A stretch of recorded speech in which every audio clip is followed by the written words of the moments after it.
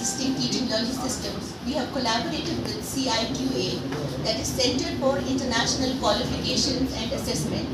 It's a UK-based company organization, and by this collaboration, we will be able to introduce some quality improvement programs school, which will be UK and Finland-based. We have with us Mr. Parveen Sharma. He is Regional Director Asia Pacific CIQA. He will throw more light on this collaboration. की conference का मुद्दा ये है कि B C I Q जो U UK organisation है, उसने Cambridge education Cambridge international school के साथ एक टाइप किया है, जिसका ऑब्जेक्टिव है कि जो इंटरनेशनल एजुकेशन हम स्कूल को स्कूल में बच्चों को दें। एट द सेम टाइम जो फ्यूचर एजुकेशन है, जिसको हम लोग बोलते हैं सस्टेनेबल एजुकेशन उसके ऊपर हम लोग काम करेंगे। और हमारा जो टारगेट है, वो ये है कि 2023 तक कैम्ब्रिज इंटरनेशनल स्कूल इस रीजन का one of the best and the finest school रहेगा।